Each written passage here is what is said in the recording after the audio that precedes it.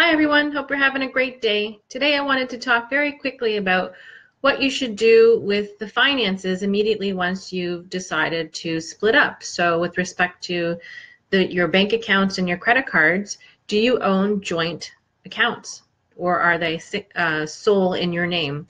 If they're joint, it's really important to shut down any joint bank accounts or credit cards and open up new accounts in just your own name.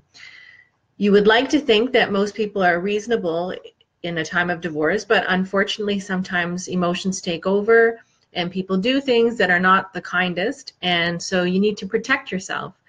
So, if you own a joint bank account, for example, and the other person decides to empty the bank account or even brings it into an overdraft position, you're on the hook. If your name is joint with them, they don't have to replace anything. All the bank knows is the two of you own this bank account, and somehow that bank account needs to come out of that overdraft position. You want to protect, protect your credit history.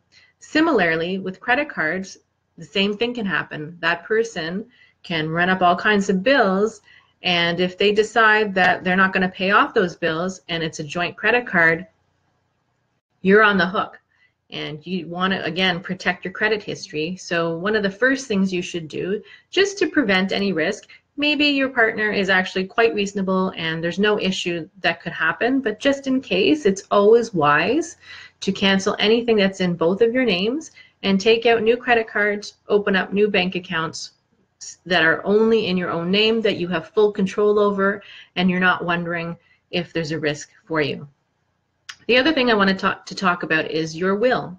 Hopefully you do have a will in place. If you don't have a will in place, now's the time to get cracking. Go talk to a lawyer who can help you get a will put in place. And do make sure that you speak with a lawyer. You want to make sure that the professional that's helping you knows what they're doing. Don't just write it up yourself.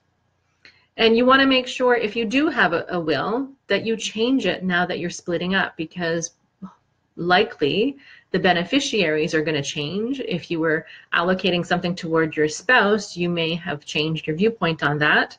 There might also be something when you guys split up in terms of uh, having some security for support. So you want to consider what the implications are on updating or even creating a will. And you want to talk to a lawyer about that to make sure you have all the information you need.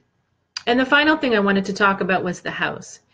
If you have a house in both of your names and you can foresee it might take some time to get through the issues, get through deciding what's going to happen with the house, make sure you go to a real estate lawyer and have them file a thing that's called tenants in common.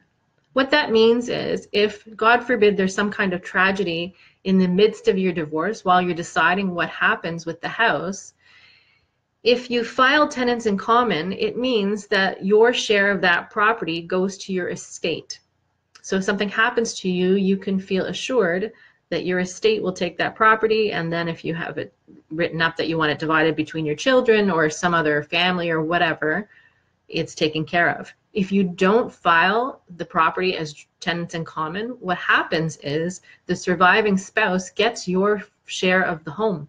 So now 100% share went to the spouse, and given that you're splitting up, that may not actually be what your intention is. So it's really important to update your will, really important to go to a real estate lawyer who can help you file the property as tenants in common. And again, make sure you cancel anything that's joint so that you're protecting yourself, you're protecting your finances, and you're protecting any dependents that you might have. I'm Neelam Dahl of Simple Solutions Mediation. We offer mediation services, divorce coaching, personal financial coaching, and financial document preparation with respect to divorce. Have a great day.